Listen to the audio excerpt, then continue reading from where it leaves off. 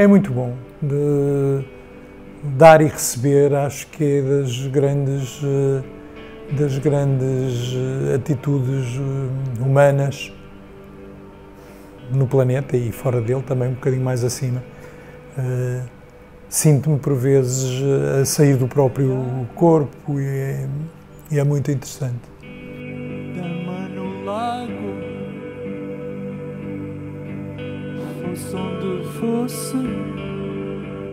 Eu, eu senti no, nos espetáculos um certo espanto, muita curiosidade e depois muita. o que tenho sentido, de facto, muita ternura. Há imenso tempo que já não levo com coisas na cabeça, nem, nem a subia delas. Uh, e, de facto, um, para ser sincero, uh, não me senti num palco. Foi a vez, talvez, nunca me senti tão fora de um, de um palco e senti que uh, estava a integrar um, depois, depois circunstâncias atuais. O número das pessoas também é mais pequeno, há mais proximidade. Mas eu creio que mesmo por isso acho que foi uma altura muito oportuna para pôr estas vibrações todas, todas cá fora. Fartos do mar, estamos fartos do mar.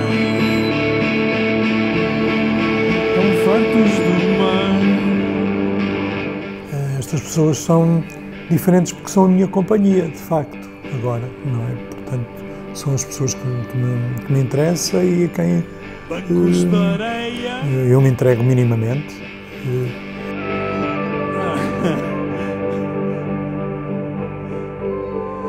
Damas do lago,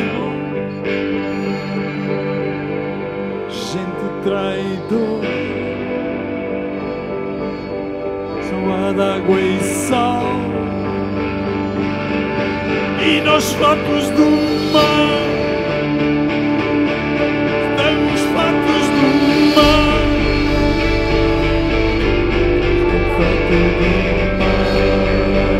Tentei, independentemente dos independentemente da, das percussões, que me sinto mais eh, próximo, eu tenho o meu carrom também, tenho um, instrumentos da, da, Guiné, que um padrinho me ofereceu, o meu querido padrinho trouxe um, um xilofone, digamos assim, uma marimba guineense, uh, tenho uma série de, uma panóplia de, mesmo os de pele também gosto muito, umas pequenas congas uh, à Beach Boy quase, não é? Daquelas congas de, de praia. Tenho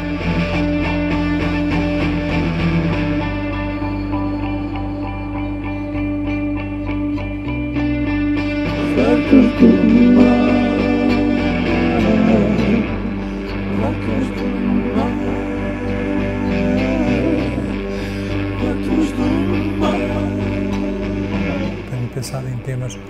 Lá está, um tema mais nós consideramos dançável como o Namaste, e não um té. É de chá, é um chá dançante, digamos assim. E, e outros são um pouco mais bruscos, mais. Hum, mais. Uh, uh, violentos no sentido em que o mar o é, não é? O mar o é. Eu gosto também com as palavras. Uh, temas como fartos do mar, a certa altura é assim uma impaciência, porque vivi estes últimos anos sempre muito próximo do mar e, e se amo toda aquela imensidão, por vezes causa-me uma irritação imensa. É, tem, creio que tem que estar com uma boa, lá está com uma vibração para suportar uma, uma tempestade marítima, que, que eu acho fantástico. E depois pensar que viemos de lá e que eh, lá regressaremos inevitavelmente, porque o que se procura, creio eu, no cosmos é sítios onde há água, não é? Estranhamente. Onde não houver uma gota d'água, é praticamente impossível viver. Só o ar não chega. Paulo Borges, Alexandre Soares, Júlio, Gabriel, Pedro Oliveira e nós. Muito obrigado. As 20 mil éguas submarinas um dia serão vossas. Rastafari, obrigado.